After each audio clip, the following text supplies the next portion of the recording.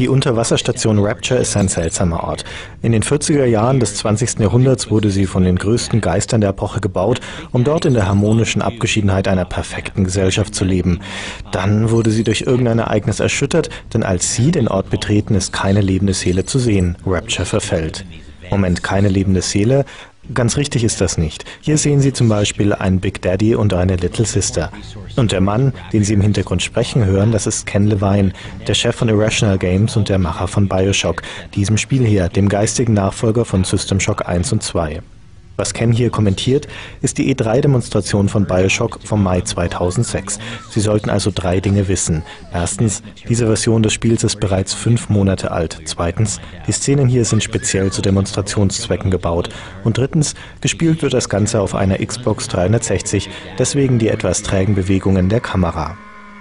Ken erzählt gerade, wie Bioshock das Shooter-Genre und speziell die künstliche Intelligenz der Gegner umkrempeln will. Nun gut, das sind die üblichen markigen Worte, aber zumindest deutet uns das Beispiel hier an, was Ken meint, denn der Big Daddy, der Bronzemann, beschützt die Little Sister, das Mädchen, bei ihrer Suche nach Genmaterial, Adam genannt.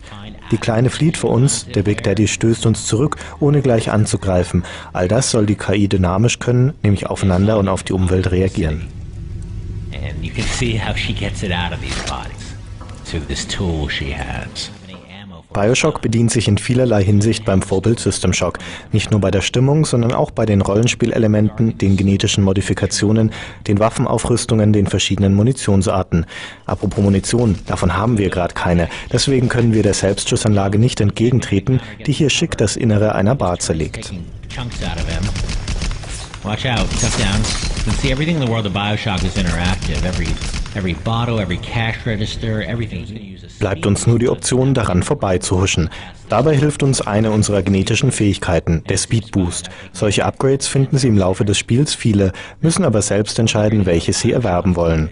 Diese Frau hier kann ein Lied davon singen. Sie ist ein Splicer, eine genetische Mutation und wir ahnen, die Einwohner von Rapture haben wohl begonnen, mit dem Erbgut der Menschen zu experimentieren.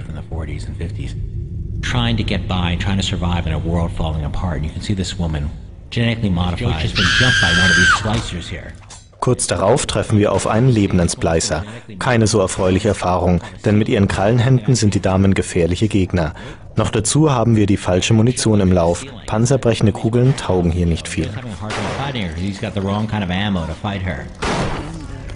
Oh, but he finally got her. Took a bunch of rounds and took a bunch of damage.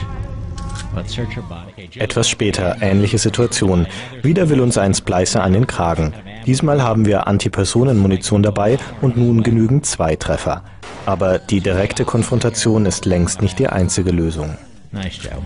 So search her, get some goodies from her. Let's, uh, let's heal. Let's take a moment and clown tackle. In der großen Halle treffen wir auf einen Big Daddy samt Begleiterin. Die tun uns nichts.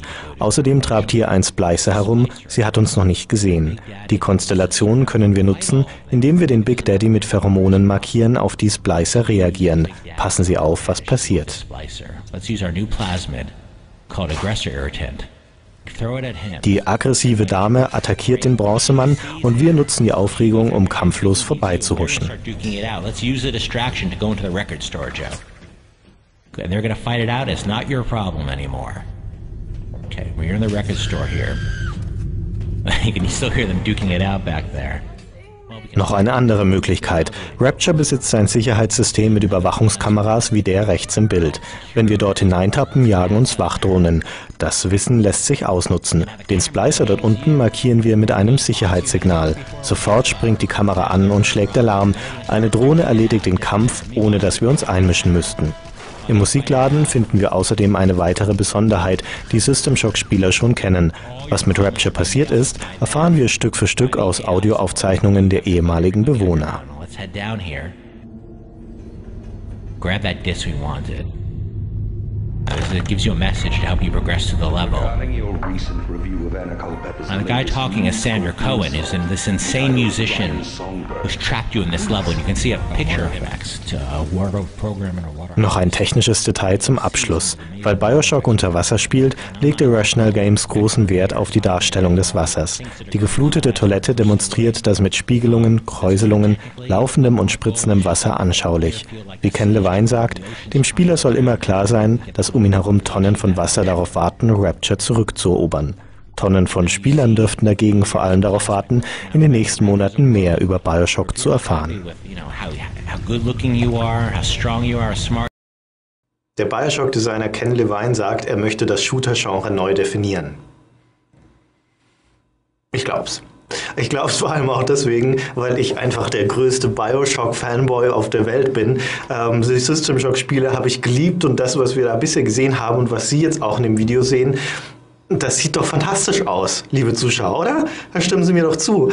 Ich kann es nicht erwarten, bis dieses Spiel endlich erscheint.